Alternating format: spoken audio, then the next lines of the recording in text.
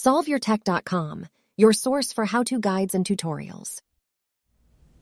Welcome to our video about how to allow pop-ups on iPhone in iOS 17. If this guide helps you out, then please consider subscribing and liking this video.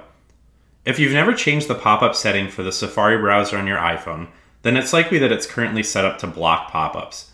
Since most pop-ups are bad, this is typically a good thing. But you may encounter a situation where you need to access something that's being blocked by a pop-up, so you're going to need to change the setting to allow pop-ups.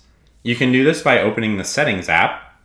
You can then scroll down and select the Safari option from this menu.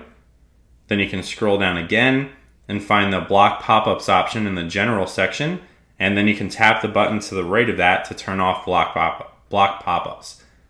Now, if you've already visited the web page where you need to access that pop-up, then you're going to need to go back to that page and then you're going to want to tap this little half arrow next to the web address which is going to refresh the page and if it has a pop-up then that pop-up will display.